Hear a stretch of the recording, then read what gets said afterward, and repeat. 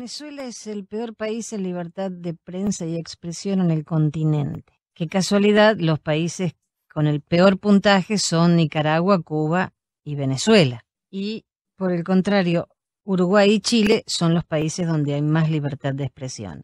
Entre Venezuela, que es el peor, y Uruguay, que es el mejor, la brecha es de 78.39 puntos. Eh, Argentina está con alta restricción. O sea que no está bien. Está, pero, pero escuché algo, porque hay periodistas en Argentina que son tremendamente opositores a este descalabro y están hablando algo que solamente te había escuchado decirlo a vos. Foro de Sao Paulo y el Grupo de Lima. Están hablándolo mucho y antes no pasaba. Sí, durante años he querido analizar la realidad del Foro de Sao Paulo del, Grupo de Puebla. Este, varias veces uno siempre, varias veces no, el inicio siempre hemos hablado sobre el Foro de Sao Paulo y lo hemos ido explicando, y yo explicaba el Foro de Sao Paulo como la herramienta regional dentro del marco del proceso revolucionario neocomunista fundamentalista, que es un proceso global. Por supuesto que hoy, hoy este despertar en, en Argentina, es increíble que Argentina lo haya guardado durante tantos años, porque en Brasil es una discusión común, una discusión común desde su fundación en 1990. Entonces, es muy triste que haya tenido que pasar tantos años para poder entender el tamaño de lo que significa la estructura criminal del Foro de Sao Paulo. Aún sigue siendo analizada, no se entiende en muchos países los conceptos internacionales que hacen posible esta realidad. Pero entiéndalo, es bastante sencillo. ¿Cómo es posible que todos los países aceptaran sistemas que iban modificando sus realidades económicas? Se sumaran a cosas absurdas como el UNASUR o, el, o la CELAC, existiendo una institución como lo vea. Es decir, cada un tipo de este, de este tipo de cosas fueron bien organizadas y se llevaron, en, sobre todo en estas últimas dos décadas, de una manera frontal. Entonces, los países tienen que empezar a hacerse muchas preguntas con respecto a lo que es la estructura política y lo que yo denomino los degeneradores de opinión. ¿Por qué la estructura periodística no atacó eso si era una realidad común? ¿Por qué si al entender el problema venezolano, algo que para todos los países debió haber, debió haber preocupado, porque el, el, periodismo de investigación no terminó de entender nunca, hay un eje común que nos conecta, más allá de que eh, Néstor y Chávez se lleven bien. Hay un hilo político, ideológico, hay una maquinaria tras, tras eso. Es muy triste que esa realidad no, sea, no haya sido enfocada desde ese punto. No sé si es banalidad, no sé si es no querer entender realidades político-ideológicas que no son nuevas ejemplos como este lo, lo, lo, vivió Europa una y otra vez. Entonces, hay que, hay que abrir mucho los ojos sobre eso. Es muy bueno que se estén tratando estos temas, pero hay que abrir los ojos sobre por qué no se trataba. Sí, me, me extrañó porque escuchando las radios de allá antes no pasaba y ahora gente como eh, Eduardo Feynman vive hablando de esto y haciéndole notar a la gente que esto no es nuevo, que esto lleva muchísimo tiempo gestándose. Es muy importante eso, que la gente entienda que esto no es nuevo. ¿Por qué? Sobre todo porque, no solo para entender por cómo se hizo el desmontaje de nuestra democracia, cómo se ha, ha, hecho el robo, sino para entender lo difícil que va a ser salir de él. Muy importante que la gente logre comprender lo complicado, lo muy difícil que va a ser salir de él. Ahora eh, estaba viendo que el precio de la gasolina subvencionada subió un 1900%, o sea que de 0,001 dólar pasó a 0,2 dólares. Sigue siendo barata, pero subió una Sigue barbaridad. siendo ridículo el precio, ¿no? el precio de, de gasolina subsidiada es una gran fantasía. Vamos a ponerte que con todo el aumento, 40 litros de gasolina te sale en promedio un dólar. Es un asunto real, ¿no? Este, dentro de eso también viene un proceso nuevo de restricción, cada vez van a ser menos las estructuras que tengan acceso a este tipo de, combustible y van a ser aún más largas las colas para poder. Claro, porque ¿y la, y la que no está subsidiada qué precio tiene?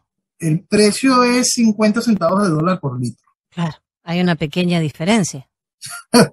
De cero. Igual la gente tiene que hacer colas larguísimas. Es impresionante porque como no hay, el, el combustible no es, no es algo regular en el país, en, en, la principal reserva petrolera del planeta, el país que cuenta con el segundo complejo refinador más grande del planeta, no, no hay gasolina, ¿no? Entonces, igual la gente tiene que hacer 6, 10, 12 horas de cola para poder pagar la gasolina en ese momento. aún la que no es, claro, si no hay gasolina, por más que no sea subsidiada, no hay gasolina.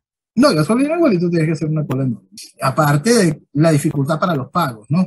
Porque la dificultad para el pago es una cosa increíble.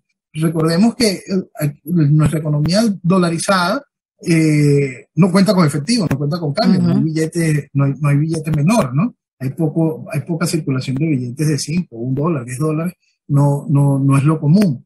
Aparte de eso, eh, hay muchas estaciones de servicio de estos que se niegan a recibir bolívares, simplemente se niegan a recibir bolívares, no importa, aun, aun sea por, por pago electrónico.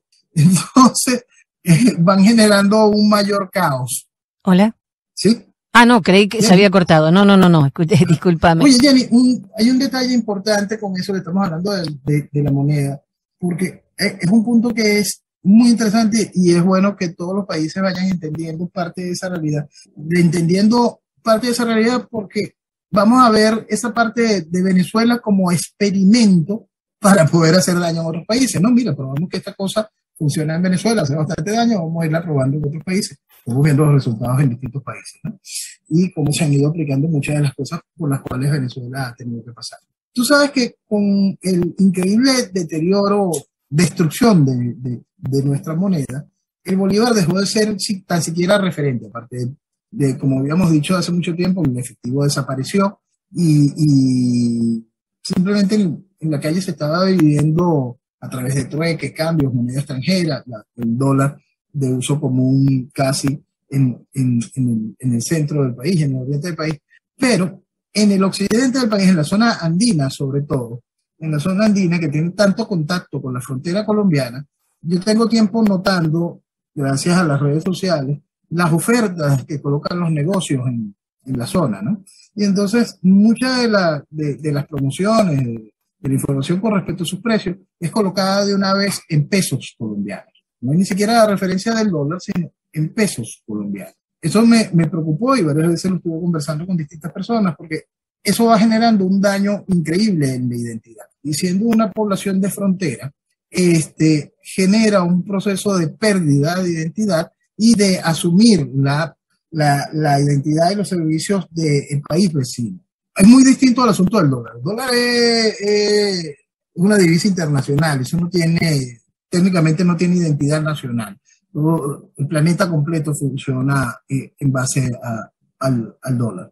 El asunto es que llegamos a, a, este nivel y esta semana sucedió algo que afirma para mí esa tesis, teniendo en consideración de que el chavismo busca la destrucción de Venezuela, la destrucción de la identidad del venezolano y la entrega de la soberanía un banco del Estado, el Banco Bicentenario, un banco del Estado, decidió permitir abrir cuentas en pesos colombianos. Es decir, un banco del Estado venezolano va a trabajar con la moneda de Colombia. Señores, eso es parte del proceso de destrucción de la identidad de una nación.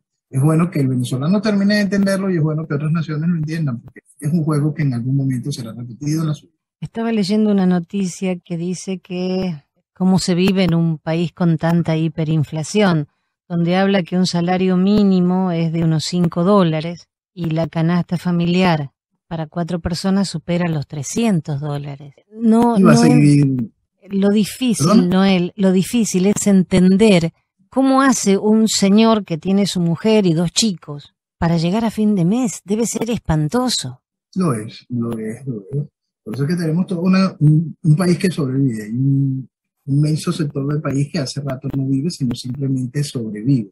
Y por eso es que vamos a vivir una mentira con el retorno a clases y cada una de estas cosas, porque lo que vamos a ver es un nivel de deserción escolar realmente increíble, más allá del COVID o cualquier cosa de esta, porque la gente simplemente no puede mandar a sus hijos a la escuela.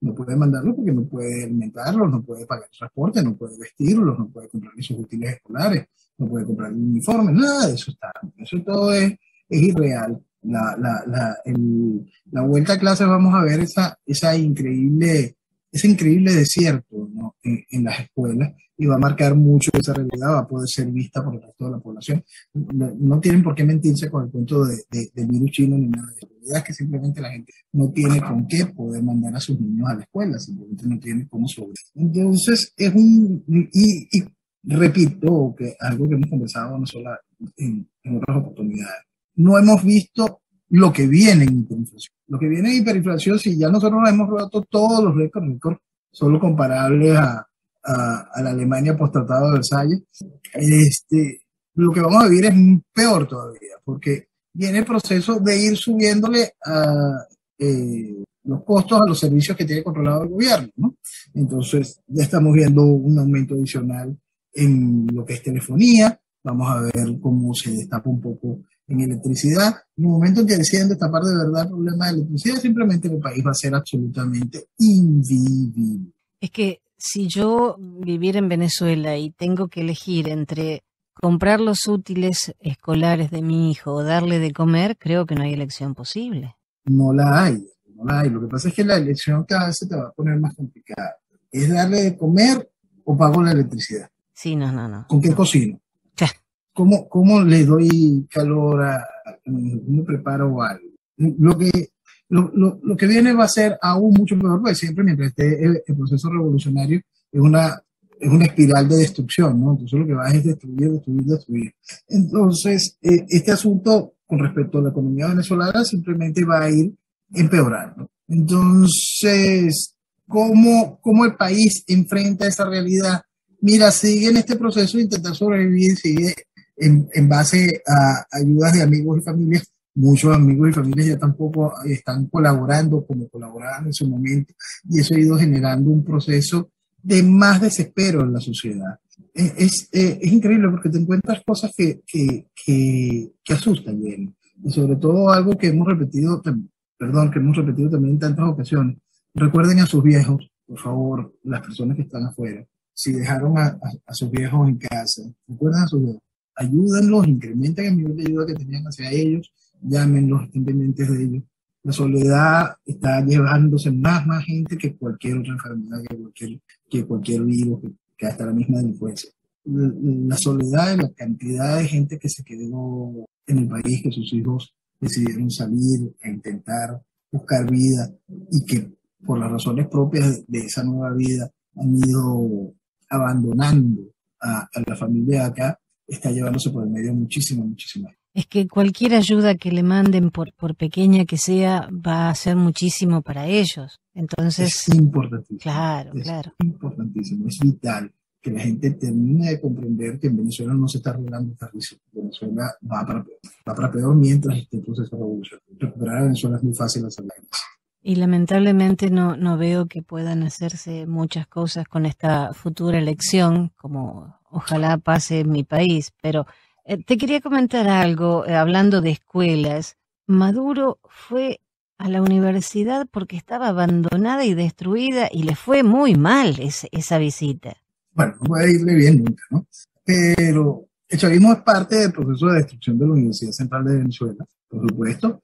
Ha bloqueado los presupuestos, ha reconducido el presupuesto en medio de la inflación. Imagínate, los presupuestos son calculados en bolívares y la, se repitió el mismo presupuesto como por ocho años en todo el proceso hiperinflacionario. Entonces, es una, es, un, es, una real barbaridad. Un profesor en una universidad, en, en una universidad como lo, se, como lo se ve, un profesor que cuente con todos sus títulos, con doctorado, máster, cada una de las cosas que entran en esa tabla de, equivalencia y que cumpla con un horario extendido y cada una de estas cosas puede llegar a ganar 11 dólares.